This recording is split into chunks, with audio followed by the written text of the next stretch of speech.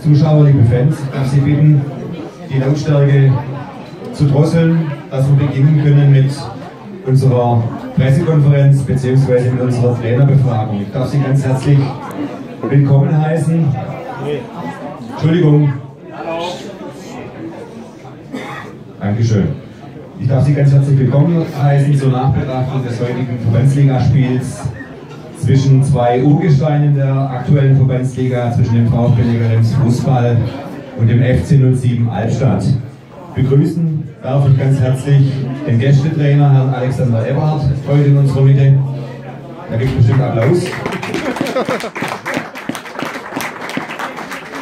Und natürlich wie immer zu unserem Heimspiel auch unseren Trainer Markus Bock, auch dich heiße ich Die heutige Pressekonferenz wird wiederum präsentiert von unseren Sponsoren.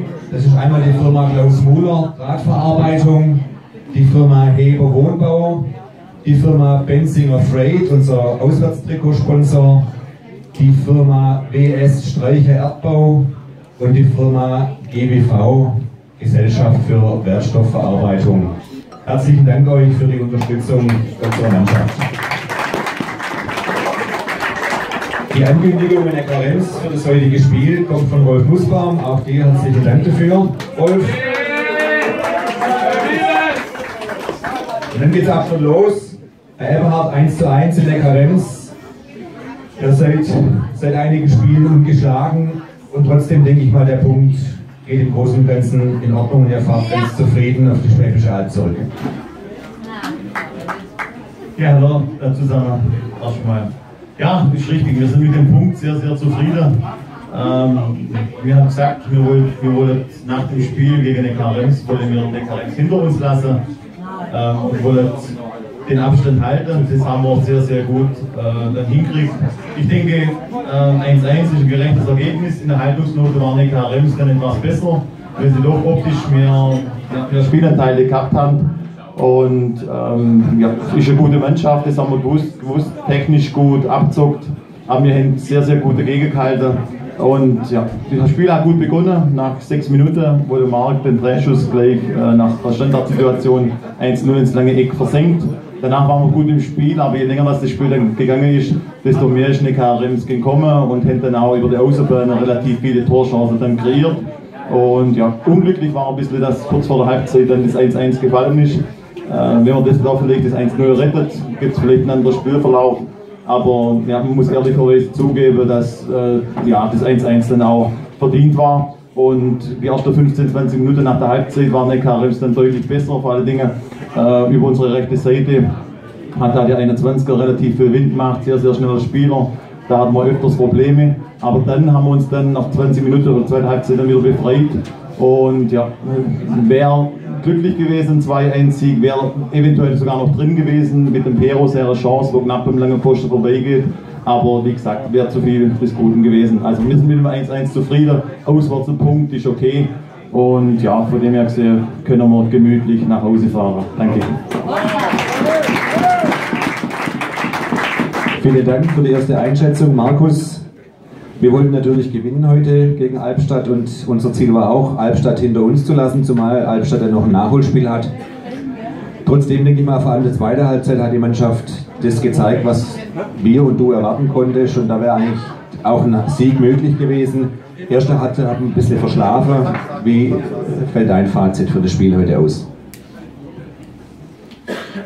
Wenn der Gegner mit einem Unentschieden zufrieden ist, dann ist bei uns dann meistens so, dass wir dem nicht ganz so zustimmen können, weil natürlich wollten wir das Spiel gewinnen und hätten auch die Möglichkeiten gehabt, aufgrund der zweiten Halbzeit, dann, die wir sehr viel engagierter angetreten haben und äh, da tatsächlich dann über die Außenpositionen viele Möglichkeiten zumindest vorbereitet haben und dann eine unglaubliche Szene mit Lars Ruck und Danny Spiegelhalter.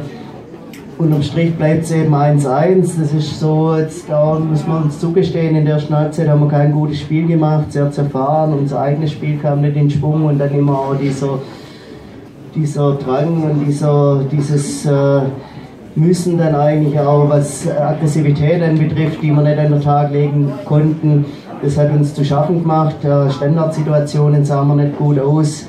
Und so kam auch dann dieses äh, frühe 0 zu 1, den wir dann hinterherlaufen mussten. Und äh, das hat natürlich schon auch so ein bisschen Substanz gekostet insgesamt. Ähm, ja, und dann äh, ist natürlich links und rechts hörst dann immer Katastrophe, Katastrophe. Ja, es ist halt nicht so, dass man da jedes Spiel dann auch aus einem Guss äh, angehen kann. Was man nicht vergessen darf, Albstadt ist jetzt nicht nur heute, sondern insgesamt muss man ja sagen, Team der Stunde überhaupt. Ich äh, glaube jetzt sechs Spiele umgeschlagen, davon vor uns im heutigen Spiel vier Spiel, Spiele in Folge gewonnen. Das sind so Sachen, die man dann oft vergisst und das muss ich dann auch meiner Mannschaft nochmal in, ins ins äh, Gewissen dann reden in der Halbzeit und demzufolge dann auch die zweite Halbzeit ganz anders vom Spielverlauf. Und äh, da müssen wir uns einfach dann auch den Sieg verdienen. Fußball bleibt immer Fußball und auf der anderen Seite gibt es äh, die Szene mit Fiorenza, hier steht er ja gerade, wo dann glücklicherweise bei uns eben den Weg nicht ins Tor findet. Es bleibt unterm Strich 1-1. Wir haben noch vor dem Spiel haben wir noch gesagt, ja, dann kommt Fiorenza ab der 63. vielleicht und dann war es die 53. Und das ist auch so ein Zeichen, dass der Gegner natürlich gemerkt hat, Mensch, Neckarems kommt ins Rollen und ins Spiel und da müssen wir jetzt was tun. Und wir haben äh, alles Engagement dann gezeigt in der zweiten Halbzeit und es hat nicht gereicht. 1-1 am Ende.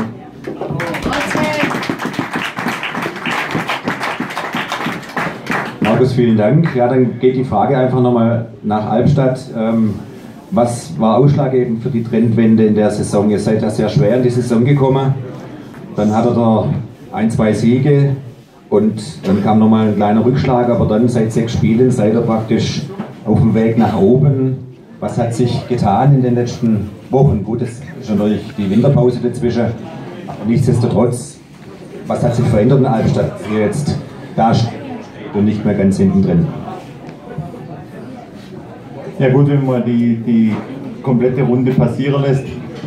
Ich glaube, ausschlaggebend war äh, das Schlüsselspiel gegen Öhringen, wo wir damals mit 11 oder 12 Mann äh, nach Öhringen gefahren sind, äh, kein Auswechselspieler, nichts und haben das dann überraschenderweise eigentlich 2-1 gewonnen. Und da haben wir dann die Serie dann gestartet. Ähm, ja, das war eigentlich so das Schlüsselspiel. Es war dann so, dass wir in der Rückrunde dann äh, drei Neuzugänge äh, dazu gekriegt haben, was absolut wichtig war, plus der Philipp Rumpel, wo ja einen Kreuzbandriss dann ähm, erlitten hat in der Sommervorbereitung, also vier neue Spieler. Und ja, da merkt man jetzt auch im Training, dass wir erstens mal äh, von der Quantität her mehr sind und auch die Qualität nimmt dann, nimmt dann zu. Und ja, wir haben jetzt einen, einen Konkurrenzkampf und der belebt dann natürlich das Geschäft. Ähm, und das ist dann schon ja, für jeden Einzelnen äh, sehr, sehr gut. Aber klar, äh, sechs Spiele sind wir jetzt umgeschlagen, das ist toll, das nehmen wir auch gerne mit. Aber jetzt haben wir 24 Punkte. Wir brauchen schon noch ein paar Punkte. Also ist jetzt nicht so, dass wir jetzt die Klasse halten, sondern mit 24 Punkten ist man auch schon natürlich abgestiegen. Aber wir stehen jetzt so sehr stabil momentan da. Heute haben wir es nicht ganz so rübergebracht. Ähm, die ersten beiden Spiele waren technisch äh, dann besser, aber ja, trotzdem, wir können mit dem leben und das ist eigentlich so der Schlüssel momentan für den Erfolg. Kann ganz, ganz schnell anders wieder aussehen. Vielen Dank.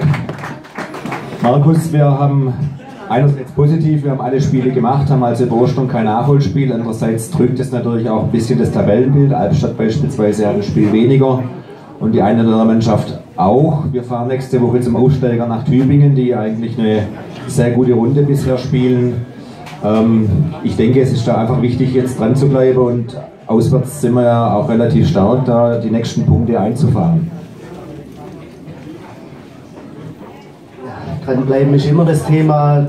Tübingen ist eine der Überraschungsmannschaften überhaupt in der Saison, die jetzt nicht gedacht, dass die da dauerhaft so weit vorne sind, haben uns im Hinspiel schon alles abverlangt und da, da haben uns sehr schwer getan in diesem Spiel damals. Das ist Warnung genug. Andererseits können wir natürlich schon auch sehen, dass wir über die Zeit jetzt auch deutlich gefestigt sind. Es ist nicht so einfach gegen uns zu gewinnen, was uns eher so das Leben schwer macht, sind halt Unentschieden und Unentschieden. Ähm, damit tritt halt ein Stück weit auf der Stelle, aber ähm, wir fahren da schon guten Mutes dahin. Bis dahin sind noch ein paar Tage. Ja, und natürlich ist die Hoffnung, dass wir dort ein Dreier holen. Schwer genug wird es. Markus, vielen Dank. Dann kann ich kurz die Ergebnisse durchsagen. Die sind jetzt alle, liegen nun alle vor. Wangen gegen Pfullingen 1 zu 1, Ilshofen gegen Essingen 0 zu 2, Öhringen gegen Normanniak Münd 1 zu 3, Dorf Merkingen gegen Hollenbach im Spitzenspiel 1 zu 1, Sindelfingen gegen Rotesheim ebenfalls 1 zu 1, Neckarrems gegen Albstadt ist bekannt und Tübingen schlägt Ehingen mit 3 zu 0. Damit bleibt Dorf Merkingen im Moment noch sechs Punkte vor Hollenbach. Normannia Gmünd ist auch mit vorne dabei und Elshofen und Tübingen ist auch Verfolger der, des Spitzenreiters. Noch die letzte Frage in Albstadt. Herr Eberhard, ihr spielt nächste Woche wieder auswärts. Eigentlich könnt ihr gleich da bleiben und ins Zoologische fahren, das wäre noch ein Stückchen weiter. Aber das geht natürlich nicht. Ihr dürft nach Schwäbisch Hall, die eine ganz schwache Runde bisher spielen, aber umso gefährlicher wird das Spiel wahrscheinlich sein. Ne? Ja, ich habe es vorher mit dem Markus davon gehabt. Ähm, ich kann mir Stand jetzt noch nicht vorstellen, dass Schwäbisch Hall absteigt mit denen. Ähm, mit der individuellen Klasse, mit den Einzelspielern, aber klar, die haben jetzt zwölf Punkte, spielen morgen gegen Calcio, irgendwann müssen sie mal anfangen mit Punkten, wird natürlich ein ganz anderes Spiel.